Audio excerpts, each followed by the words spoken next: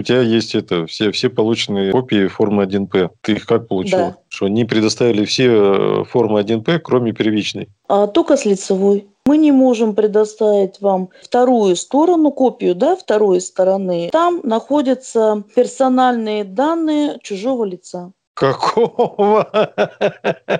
Я серьезно говорю, да. Нежданный возраст пришел по 45-летию. Мы хотим пообщаться насчет получения паспорта. Стоит ли э, его получать, обменивать или может отказаться. Это все торговое право. А гражданский кодекс – это у нас видоизмененный единый коммерческий кодекс. Паспорт – это договор. О чем этот договор? А где условия договора? ЦФБА, подпись, но я писала фиолетовой ручкой и в форме 1П. Начальник вот ушел вызывать Росгвардию, вот он находится, попечитель, а в лице начальника полиции. Благодарствую за ответ, а теперь то же самое в письменном виде. Расписку давайте, то ваши действия будут расцениваться как мошенничество. Очень сильно начал нервничать. Э, У него прям вот руки тряслись.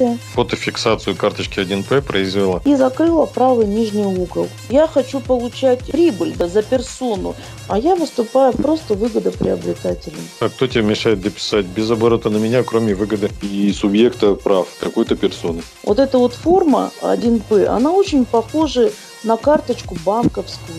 Они предоставили обратные стороны всех, кроме первичной, который вписан в 18 пункт, и который на самом деле является попечителем, то есть князем, душеприказчиком. Попечитель, вот они его не хотят светить. Да, не хотят. Страница «Дети» перевернута. А вот это белый корешок, который торчит, это всего лишь подложка под ламинат. Вот. И никакой э, подложки там не надо. Три- 13 отдельных документов получится, без ниток. Не верьте этим всяким блогерам, типа Монтода, которые говорят, что там что-то вшито. И она просто, Антон, замолчала. Так она знает об этом все. Они все знают.